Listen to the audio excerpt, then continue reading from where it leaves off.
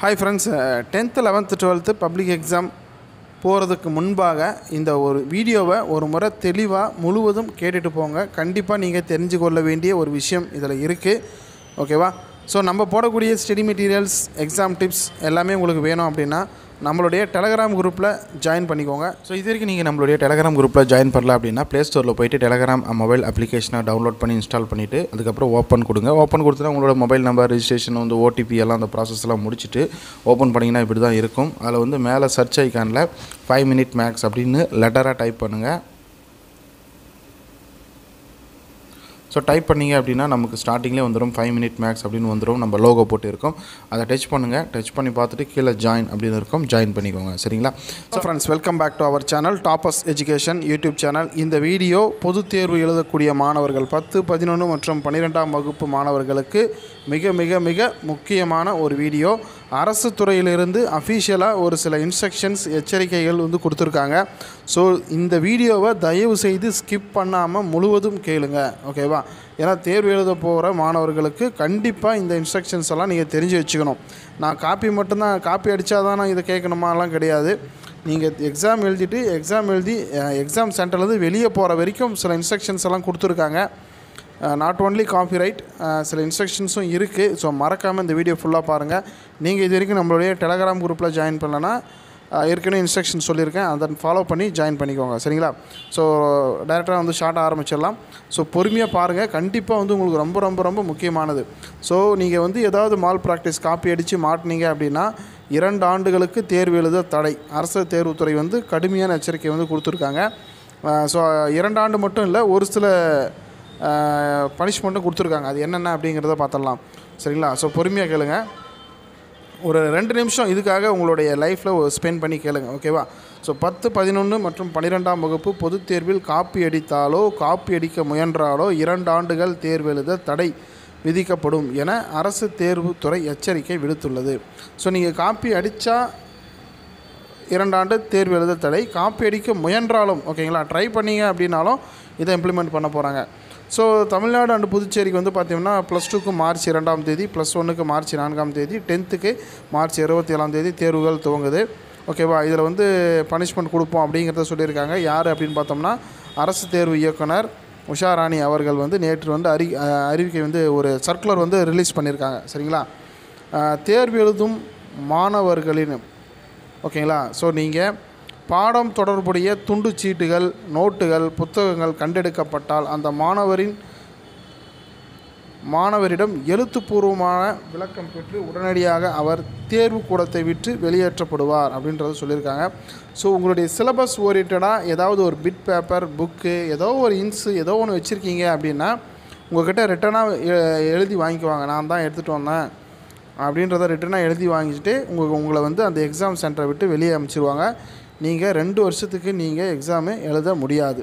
ஓகேவா அது ஒன்று இன்னொரு இன்னொரு விஷயம் வந்து பார்த்தீங்க அப்படின்னா தேர்வு கூடத்தில் ஓகேங்களா தேர்வு கூடத்தில் பக்கத்தில் அமர்ந்திருக்கும் மாணவரின் விடைத்தாளை பார்த்து காப்பி அடிப்பது கண்டுபிடிக்கப்பட்டாலும் அவர் உடனடியாக வெளியேற்றப்படுவார். அவருக்கு ஒரு ஆண்டு தேர்வு எழுத முடியாது. சரிங்களா? நீங்கள் ஏதாவது மெட்டீரியல் எடுத்துகிட்டு போனீங்க bit paper hints notes book bit paper ஏதாவது எடுத்துகிட்டு போனீங்கன்னா ரெண்டு வருஷம் நீங்கள் எழுத முடியாது. சரி நான் எதுவுமே பிட்டு எடுத்துன்னு போகல. பக்கத்துக்கு நான் பார்த்து கேட்டு எழுதுறேன் அப்படின்னா நீங்கள் ஒரு வருஷத்துக்கு தேர்வு எழுத முடியாது. பி கேர்ஃபுல் ஓகேங்களா? ஸோ அடுத்து வந்து ஆள் மாறாட்டம். அது ரொம்பவே முக்கியமானது. ஆள் மாறாட்டன்றது நீட் எக்ஸாமில் ஒரு பெரிய பிரச்சனை போச்சு. ஓகேவா? ஸோ இது வந்து பார்த்தீங்கன்னா ஆள் மாறாட்டம் செஞ்சீங்கன்னா வாழ்நாள் முழுவதும் நீங்கள் தேர்வு எழுத தடை விதிக்கப்படும் அப்படிங்கிறத சொல்லிட்டாங்க. ஏன்னா நீட் எக்ஸாமில் மிகப்பெரிய ப்ராப்ளம் போச்சு. சரிங்களா? அதனால் ஒரு பர்சனுக்கு பதிலாக வேறு ஒருத்தர் ஒரு பர்சன் வந்து தேர்வு எழுதுறாரு அப்படின்னா அவர் கண்டுபிடிச்சிட்டாங்க அப்படின்னா வாழ்நாள் தடை ஓகேவா? ஏன்னா டிஎன்பிசி நீட்டு எல்லாமே ம மிகப்பெரிய பிரச்சனை போது கவர்மெண்ட் வந்து பேட் நேம் வந்துட்டுருக்கு. அதனால் இந்த வருஷம் கண்டிப்பாக ஸ்ட்ரிக்டாக பிடிப்பாங்க ஓகேவா? அதனால் மறக்காமல் பாருங்கள் ஓகேவா? ரைட் அடுத்து வந்து பார்த்தீங்கன்னா விடைத்தாளில் ஒரு தாளுக்கு பதில் வேறு விடைத்தாளை இணைத்து தேர்வு பங்கேற்பு ரத்து செய்யப்படும். அதாவது நிறைய பேர் என்ன பண்ணுவாங்கன்னா பக்கத்தில் இருக்கிறவங்க பேப்பரை சேர்த்து கட்டிடுவாங்க ஓகேங்களா? இப்போ வந்து நீங்கள் ஒரு உங்களோட ஆன்சர் ஷீட் எழுதிட்டு இருக்கிறீங்க பக்கத்தில் இருக்கிறவனோட ஆன்சர் ஷீட்டை வாங்கி காப்பி அடித்து எழுதிட்டு அவங்கள்ட்ட கொடுத்துருவீங்க. அந்த மாதிரி நடக்குது சில இடத்துல. ஸோ அவனுடைய பேப்பரை நீங்கள் மாற்றி கொடுத்துட்டீங்க அப்படின்னா அதை வந்து கேன்சல் பண்ணிவிடுவோம் அப்படிங்கிறத போல் சொல்லியிருக்காங்க. சரிங்களா? அது வந்து குறிப்பிட்ட ஆண்டுக்கு தேர்வு எழுத முடியாது. குறிப்பிட்ட ஆண்டுன்னு சொல்லிட்டாங்க. அது எத்தனை ஆண்டுன்னு சொல்ல முடியாது. அது வந்து நீங்கள் ப்ரூஃப் பண்ணோம் அது வந்து நான் எழுந்து தான் நான் மாற்றி கொடுக்கல அப்படின்றது சம் ப்ராசஸ் போகும் அது. சரிங்களா? டிபிஐ போயிட்டு நீங்கள் பதில் சொல்கிற மாதிரி வரும். ஸோ அது வந்து குறிப்பிட்ட ஆண்டுன்னு சொல்லிட்டாங்க. எத்தனை வருஷம்னு சொல்ல முடியாது. ஓகேவா இதெல்லாம் நானே ரியலாக பார்த்துருக்கேன். அதனால் எத்தனை வருஷம் அப்படிங்கிறத நீங்கள் சொல்ல முடியாது.